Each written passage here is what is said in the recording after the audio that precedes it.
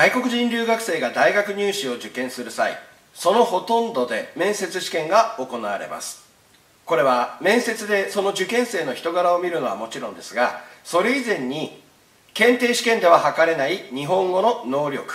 4技能5領域のうち話す力とやり取りつまり日本語コミュニケーション能力を見るからです。その日本語コミュニケーション能力が低いからなのかせめて見た目だけでも良くしようとして面接試験にスーツ姿で臨む受験生が大勢いらっしゃいます。それどころかスーツじゃなきゃダメだなんて主張する日本人もいるくらいです。結論から言いますとそんなことは意味がありません。外国人留学生の大学入試は私服でも問題ないのです。他の動画でも言ってる通り私は2001年度からデータを集めてきました。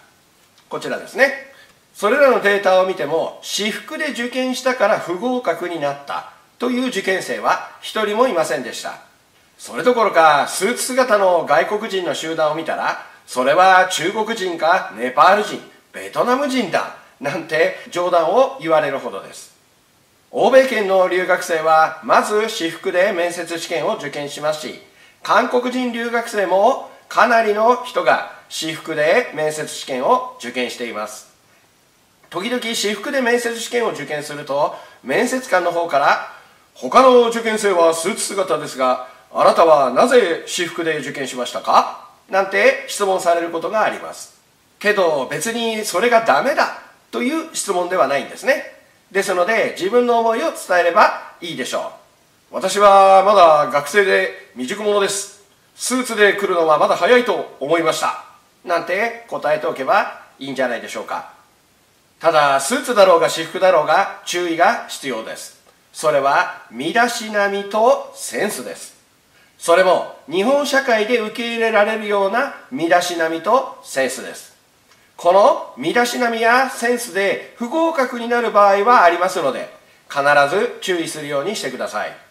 私が海外特に東南アジアへ営業の仕事で出かけた時やはり日本人ですからスーツ姿で先方に赴くんですね。すると先方からスーツでは来ないでくださいなんてクレームを受けたりします。どうしてもそのままが硬くなってしまってみんながやりにくくなるからだなんて言われてしまうんですね。それでスーツではなく私服軽い服装で来てくれなんて言われたんですが私たちは正直困ってしまいました。日本での私服ならよくわかりますが現地での私服っていうのがわからなかったんですね。軽い服装といったらどんな服装だろうと悩んでしまい結局現地スタッフにアドバイスをもらうことにしました。でまあ、現地スタッフは考えすぎですよなんて言ってくれましたがやはりセンスの違いというのがちょっと怖かったのでアドバイスをもらうようにしました。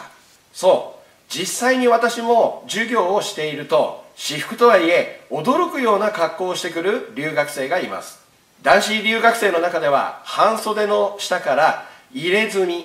タトゥーですね。まあタトゥーが見えているような留学生もいます。国の習慣によって様々でしょうが基本日本でこのタトゥーはあまり良い印象は与えません。ですのでぜひ注意してください。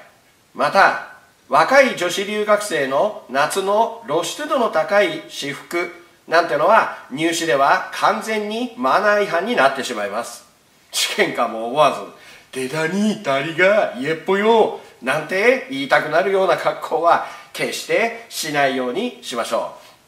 う。いくら面接は私服で受けても構わない。とはいえ私服にもマナー違反があるのです。ですので私服で行くならその私服がマナー違反かどうか日本人に一度見てもらうといいでしょう。まあそこら辺考えると面倒くさいから。ということで皆さんスーツで面接試験に行くようですがマナー違反といえば服装だけでなく香水とか化粧なんてのも注意が必要です。けどこれもあまり神経質になる必要はありません。未成年者がお化粧をしたり香水をつけるのを問題視する面接官もいますが基本的に留学生は成人した大人ですので香水をつけてもお化粧をしても OK です。ただこれも服装同様やはりマナーというものがあります。日本人の常識と外国人の常識では差があると思いますのでぜひ注意してください。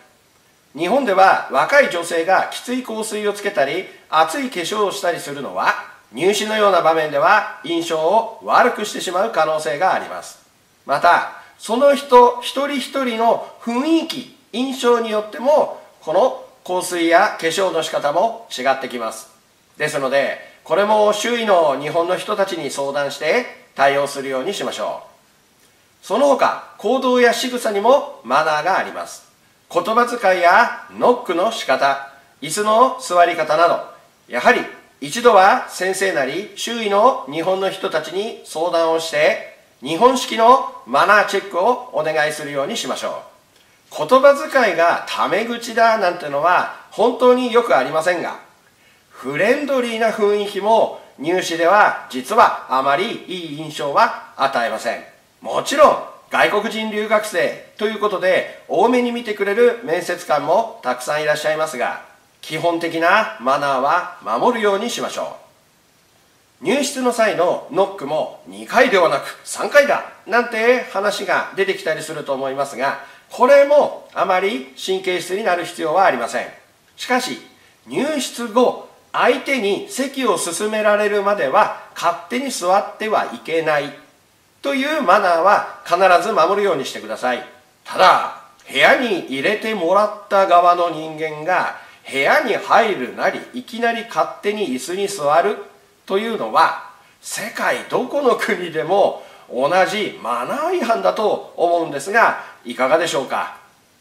日本に来たんだから何でもありだなんて考えずにまず自分の母国のマナーもしっかりと確認して礼儀正しく面接を受けるようにしましょう。常に意識しなければならないのは面接官たちはとても忙しい人たちです。そんな人たちがわざわざ時間を割いて会ってくださっている。それが面接試験です。いくらこちらが受験料を払ってるからといって横柄な態度で臨むのは非常に失礼になります。基本わざわざお忙しい時にお招きいただきありがとうございます。という謙虚な気持ちを持って面接試験に臨むようにしましょう。面接は私服で構いません。けど服装だけでなくさまざまな日本式のマナーを必ず守って面接試験に臨んでください。